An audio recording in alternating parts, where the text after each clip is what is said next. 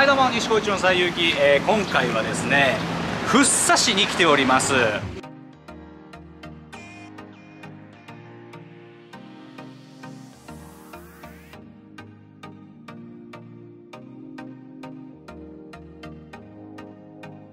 で、えーとまあ、西高一の西遊記ね特有なんですけど、えー、ロケ前に食事をするということになりましてですね。こちら、えーと、今日食べようと思ってるのはドスコイピザさんっていうところでピザを食べようと思います。その後街ぶらする予定です。えー、ドスコイピザさんでピザを買ってコーヒーを頼もうとしたんですけれどもコーヒーはこっちのドゥーザドーナツさんの方が美味しいよっていうことなんでこっちでコーヒー買ってみます。あアイスコーヒーですか？あはいアメリカーノで大丈夫ですか？アイスコーヒー。なんでアメリカーノでいいですか？はい。なんかこの辺でおすすめの古着屋さんとかってありません古着屋さん。はいどっか？アメリカの雑貨アメリカンラッシュっていうアメリカンラッシュ。アメリカンラッシュ。それからあと16号に出てもらって、はい。16号出てるのにはい。行ってずーっと行くともうそういうお店が。じゃあとりあえずご飯食べます。先ほどアイスコーヒーを買わせていただいたんでちょっと一口いただいてみたいと思います。美味しいです。であそこの工程見てもらうとあれなんですけど今こねてますよ伸ばしてますよピザを。まあでもあいにくの雨なんですけどね。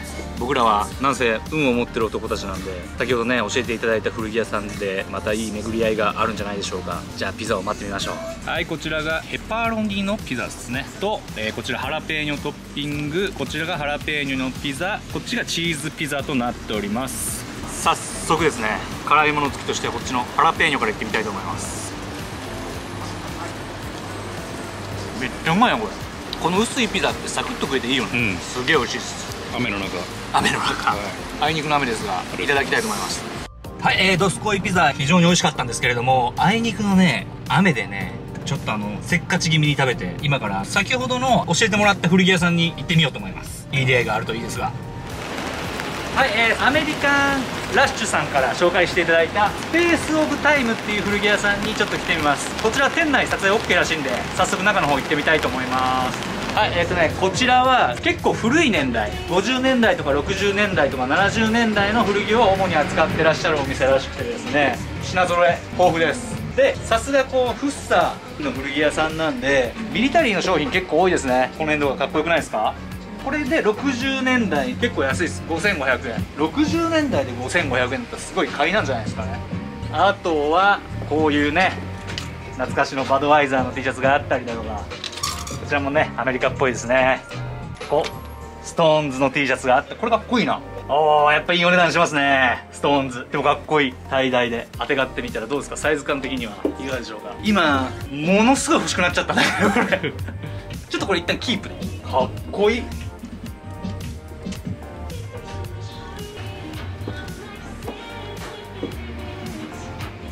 じゃあ商品の方ちょっと散策したいと思いますはい先ほどのこちらのねローリングストーンズの T シャツ試着したいと思います。じゃあこちら着てみたいと思います。いかがですか？結構いいんじゃない？サイズ的にも。うんいい。すげえいい。すごいよね、なんかこの dye 柄のストーンズって結構珍しいなと思って。90年代の T シャツらしいんですけど。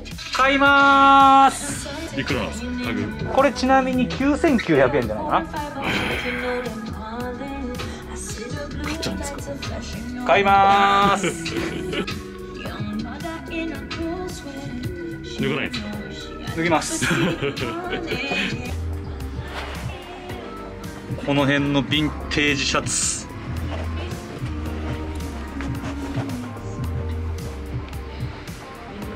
これなんとデッドなんですって全部これすごい安い1950年代のデッドストックのシャツで1万5900円。この赤のシャツとか色味かっこよくない？はい続いては、えーグッドキングスさんっていう古着屋さんに、えー伺っております。あのー一応食べんな取るなってことなんですけど店長のご好意により取らせていただけることになりましたので中の方行ってみたいと思います。こうやって軍物の靴とかがあったりするんですね結構アメリカ雑貨みたいなミリタリー系が多かったりもしますね。おアメリカのステッカー系。おしゃれ。これって全部アメリカから仕入れてるんですか？うーんと僕ほとんどどこにも行かないんですよ。で仕入れは例えば洋服であれば、はい。買い取りなんですよね。売りに来たやつを買う？そうなんです。へえ。で軍物に至ってはまあ横田が目の前なんで、はい。基地の米兵が退役する時とかに売りに来てくれるそうなんですね、すごいだって商品もかなりあるじゃないですか。そうですね。好きなもので埋めてっていう感じですね。すごい。もう趣味のお店ですか？そうですね。家にいる時間よりはるかに長いへえなんかアメリカ横田基地の方が売りに来てくださるんですね。リアルクローズだもんね。すごいよミリタリーの商品。これ実際使ってたってやつやもんな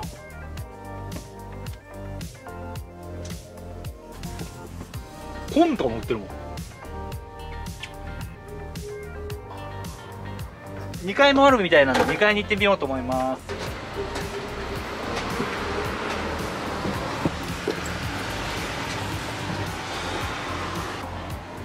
ピーナッツ あーなんかアメリカ感すごいですね。ほらこれシボレシボレカートラックパーツサービスかっこいい。あこれ可愛くない？コーラ。1080円アメリカンですね。これ。ダルトンで見た例のパソコン入れるやつ。ああベティちゃんバージョン。ベティちゃんバージョンかっこいいじゃんね。可愛いっすよねこれ。このガソリン入れるやつ。すごいね。もうこれ使用感あるもんね部屋に置いといたらかっこよかったりするような。あインテリアか。そうそう。ちょっと待って待って。めっちゃかっこいい時計発見したのバーバーショップ。バーバーショッいくらぐらいですかこれ？安くない ?2600 円だよ。プ安い。2680円。絶対買いでしょこれ。買います。いいっすね。これと待って待って。こっちもかっこいいじゃん。ハンバーガーズ。これが？ちょっと見てみて1680安いこれ絶対買いでしょこんな。ん2個買います。こういうの黙って2個買います。時計ある家に。時計ありますこういう大きいの。いや家になくてさちょうど欲しかったから。よかったわ。ねこういうの。買います。このう古びた感じがまたいいですよね。そう。絵だねでもねこれ。でもかっこいいよ。かっこいいよいいよこれで。いいっすね。懐かしい。缶ペンうわかわいいねこれでも。懐かしい。おしゃれですな。